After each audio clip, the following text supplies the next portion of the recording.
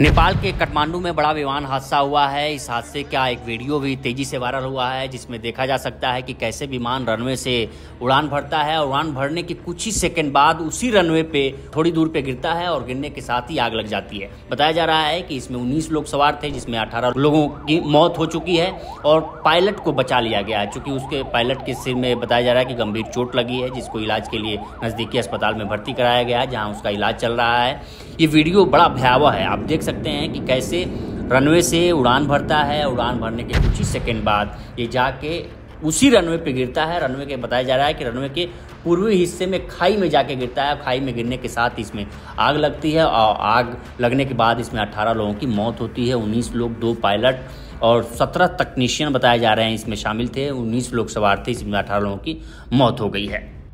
हवाई अड्डा सुरक्षा प्रमुख अर्जुन चंद ठाकुर ने समाचार एजेंसी रॉयटर्स को बताया कि विमान में दो चालक दल के सदस्यों के साथ ही सत्रह तकनीशियन मौजूद थे, जो रख रखाव और जाँच के लिए पोखरा शहर जा रहे थे। इसी दौरान यह हादसा हो गया। काठमांडू पोस्ट के मुताबिक प्रत्यक्षदर्शियों ने बताया कि उड़ान भरते समय विमान का पंख ज़मीन से टकराने के बाद पलट गया। इसके बाद विमान में तुरंत आग लग गई और वह रनवे के पूर्वी हिस्से में खाई में जा गिरा। बताया जा रहा है कि पायलट मनीष संख्य को बचा लिया गया है और उन्हें नज़दीकी अस्पताल ले जाया गया है, जहाँ उनके सिर में चोट लगी है और उनका इलाज जारी है। वहीं मीडिया रिपोर्ट्स के मुताबिक विमान स्थानीय सौर एयरलाइंस का था। सौर airlines C R J two hundred क्षेत्रीय जेट विमानों के साथ नेपाल में घरेलू उड़ानें संचालित करता है, जो लगभग 20 साल पुराने हैं। विमानन सुरक्षा के मामले में नेपाल का पहले से ही खराब रिकॉर्ड रहा है और इसमें उसकी खतरनाक भौगोलिक स्थिति भी एक बड़ा कारण रही है, ये जानकारों का मानना है। क्योंकि नेपाल में दुनिया की सबसे कठिन रनवे हैं, जिन पर उतरना मुश्किल है और बर्फ़ से ढकी चोटियाँ हैं, जहाँ पहुँचना कुशल पायलटों के लिए भी चुनौती भरा है। पहाड़ों में मौसम भी तेज़ी से बदलता रहता है, जिससे उड़ान के लिए खतरनाक परिस्थितियाँ पैदा हो जाती हैं।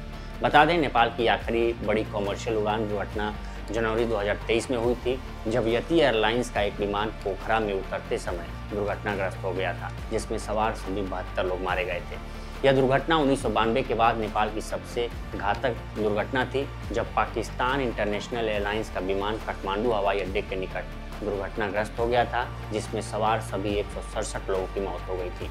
उसी साल की शुरुआत में थाई एवरेज का एक विमान इसी हवाई अड्डे के पास दुर्घटनाग्रस्त हो गया था, जिसमें 113 लोग मारे गए थे।